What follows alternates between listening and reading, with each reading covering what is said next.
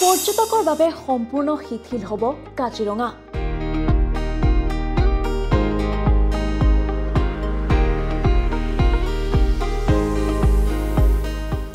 মুখত এতিয়া হাঁহি বিৰিঙিছে ব্যৱসায়ী তথা পৰ্যটন উদ্যোগীৰ এক অক্টোবৰৰ পৰা খোলা হ'ব কাজিৰঙা।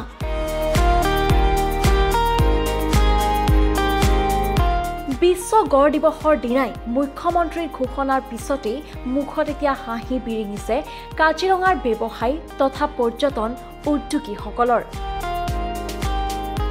দুটা বছৰ কভিডৰ বাবে ব্যাপক লোকচানৰ সন্মুখীন হৈছে পৰ্যটনস্থলীসমূহ এই ক্ষেত্ৰত চৰকাৰক ব্যৱস্থা গ্ৰহণ কৰিবলৈ আহ্বান জনাইছিল কাজিৰঙাৰ ব্যৱসায়ী তথা পৰ্যটন উদ্যোগীসকলে। আমি চি এম ছাৰক ধন্যবাদ দিব লাগিব।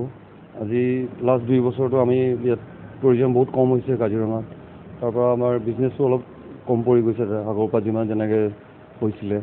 ক'ভিডো হোৱাৰ কাৰণে আৰু এইটো কাৰণে বেছি আমি সুখী থকি এতিয়া চব খুলি দিব চবেই আহিব পাৰিব চাব পাৰিব কাজিৰঙাখন। আৰু এতিয়া ধুনীয়া হৈছে কাজিৰঙাখন।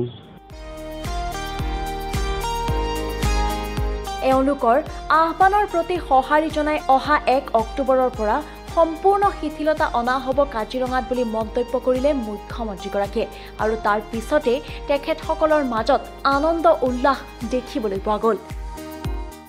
আপোনালোকৰ মিডিয়াৰ দ্বাৰাই আমি জীপ চাফাৰী সন্থাই প্ৰতি মুহূৰ্ততে অসমৰ মাননীয় মুখ্যমন্ত্ৰী মহোদয়ক আহ্বান জনাওঁ যে পৰ্যটন ক্ষেত্ৰত যি ৰেষ্ট্ৰিকশ্যন আছে কৰোণাৰ সেইবোৰ সেইসমূহ শিথিলতা কৰি দিব লাগে।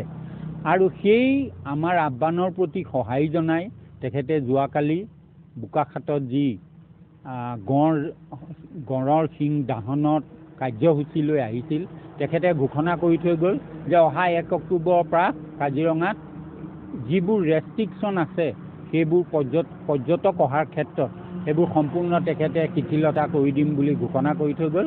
আৰু এইবাৰ এইকাৰণে আমি জীপ চাফাৰী সন্থাৰ প্ৰতিজন সদস্যই আৰু পৰ্যটন ব্যৱসায়ত জড়িত সকলোৱে আমি তেখেতক অশেষ ধন্যবাদ যাচিছোঁ আৰু তেখেতক মানে কেনেকৈ কি ভাষাৰে ধন্যবাদ দিম মানে আমি ক'ব নোৱাৰোঁ।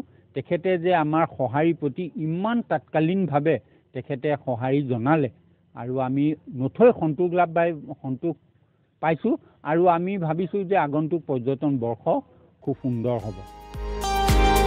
কাজিৰঙাত এক অক্টোবৰৰ পৰা হোটেল পৰ্যটক পৰ্যটন সুচাৰুৰূপে চলিব বুলিও মন্তব্য কৰিলে মুখ্যমন্ত্ৰীগৰাকীয়ে। কাজিৰঙাৰ পৰা কিষাণ ছেত্ৰী টাইমিট